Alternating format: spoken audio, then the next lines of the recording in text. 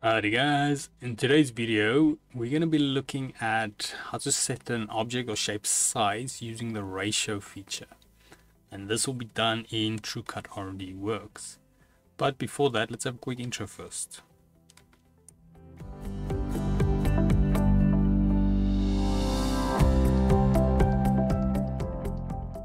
So today's video can be found on softwaretraining.co.za we make short and easy to watch problem solving videos and we also have daily updates. Otherwise, back in the program here now, just a quick reminder again, this is a mini series on transforming um, shapes. Yeah, and we will leave relevant links in the description so you can follow along. Now, when it comes to setting the ratio of a object scale, what this will pretty much be doing is that it will set it in ratio to what it is. So if this is, for instance, 100%, 100 they normally use as a base. Then if I had to scale this to 200%, it will make it exactly twice as big. Or 50% will be half the size. So that's something to keep in mind. So there's two ways we can do this. Um, first way is on top here on this bar. I think they called it the cut bar or something like that. I could be wrong. And the other one is here on our um, system work plate. So let's just select this and quickly look at it. Now to select objects, you can drag with your selection tool on top left here, just a selection box over it. If it is not completely over it, it will not select it, so just keep that in mind. Or you can select it on one of these rims. Now with it selected, let's first look at the top here. So we have this little area with a percentage, as you can see. So this is where we'll set our ratio. Now the lock next to it will lock the ratios together, so the horizontal and vertical.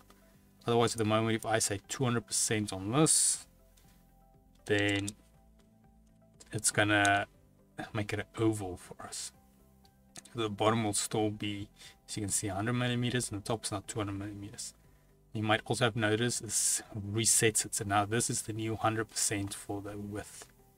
So to reset that back, we can even change either change the value here or we make this 50%. Should be exactly half of what it was, which is there. And we click this little lock and now let's try that again. We go 200%, press enter.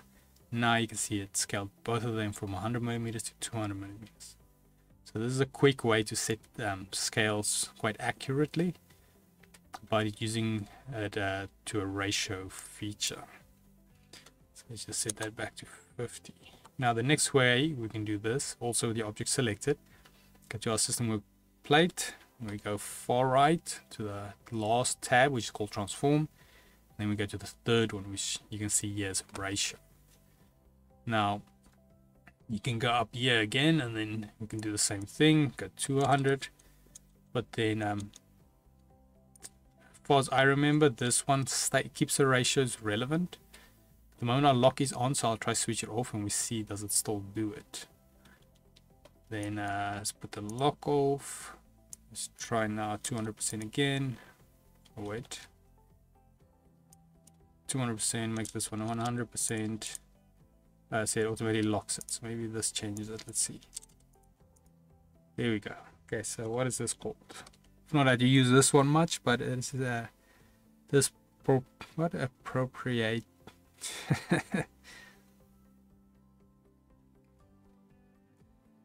Okay, yeah. Any case, that is what it is. I know you guys can maybe try pronounce it yourself in the comments. yeah, it's quite a mouthful. I'm sure if I had to spin I will get it. But any case, so this will now unlock your proportions, you can say, relevant to each other. We have that checked. And obviously underneath that, like with rotation, scale, and those things, we've got the actual anchor point. So if you um, want to do it maybe from the bottom left corner, 200%, click apply. Okay, that won't be a good example. So let's try that again. Bottom left corner, we keep this one off. So it'll be 200 by 200. Yeah, there we go. So now it's setting the ratio from that anchor point. Sorry, I'm still trying to read that word. Okay. Back to the video. So otherwise, yeah, that is it on setting it by your ratio. If we go here to softwaretraining.co.za, you guys will notice we've got a variety of different softwares we do cover. And also you can isolate your search on the top right. If you do not, however, find what you're looking for, just go here, request a training video. Then we will make that video for you. But otherwise, thanks guys for watching and cheers.